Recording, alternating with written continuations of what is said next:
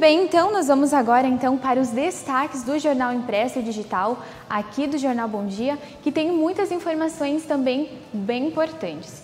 Vamos lá então, nosso destaque da capa é em relação à região. 30 pessoas estão hospitalizadas e cinco novos óbitos por Covid-19 aqui na nossa região. Então, na página 2, nós temos esses destaques né, em relação à Covid-19, que nós já comentamos, na coluna do Pente Fino do Rodrigo Finardi. Na página 13, então, nós temos o destaque sobre a tentativa de golpe por telefone aqui em Erechim, né, para o pessoal ficar atento. Na página 4, então, nós temos região passa a contar com 145 agroindústrias inclusas ali no PEAF, né? Na página 5, então, o destaque que nós já comentamos da capa.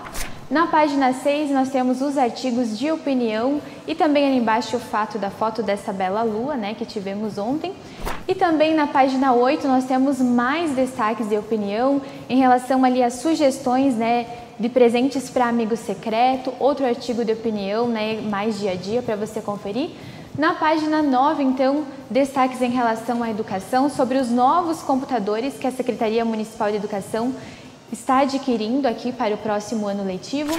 Na página 10, então, temos destaques da região, lá no município de Barra do Rio Azul, que o município recebe um micro-ônibus para o transporte escolar. Outros destaques também na página 11 em relação à Emater e a Cicred, que lançaram uma campanha né, para os agricultores aqui da região.